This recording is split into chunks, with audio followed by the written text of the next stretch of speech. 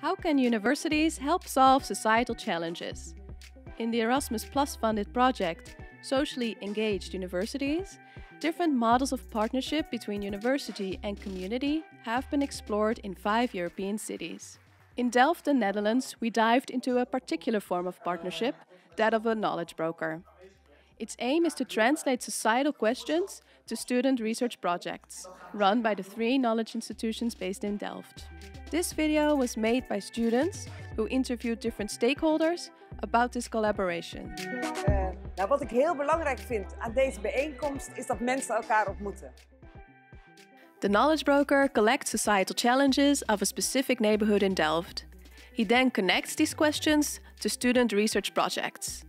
For instance, students designing solutions to reduce energy consumption in households. Ik denk dat uh, dit soort gelegenheden is heel mooi, omdat je hebt heel veel verschillende stakeholders die samenkomen om hetzelfde probleem met andere ogen te kijken en oplossen hopelijk. We distinguish two major benefits of working with a knowledge broker. One, he has dedicated time to make these connections and follow them up into specific projects. Time that the partners usually lack. Two, he has an independent position and mediates between different parties and interests. Ja, ik zat uh, in de groep 1, dus die ging uh, over doorstroming, over hoe we woningen moeten aanpassen, over domotica. Dat eerste leverde eigenlijk wel de meeste vragen op. Hè, van uh, ik ben een oudere in Tanthof en ik wil in de wijk blijven. Wat heb je voor me in de aanbieding? Working with a knowledge broker also presents challenges. Firstly, the position needs continuity in funding to create long-term impact. Secondly, managing expectations about student research is crucial.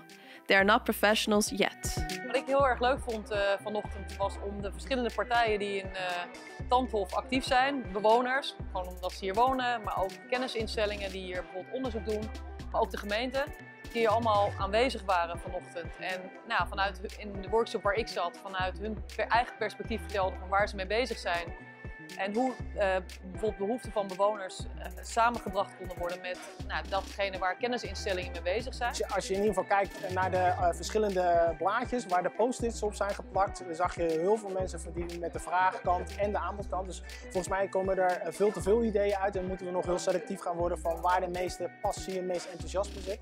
maar volgens mij hebben we genoeg onderzoeksvragen opgehaald om de komende jaren goed met elkaar aan de slag te gaan. En het belangrijkste, ik zag ook dat mensen heel enthousiast van elkaar werden en uh, visitekaartjes aan het uitwisselen waren en dachten van hé, hey, hier kunnen we wat mee. Dus daar uh, hebben we veel zin in.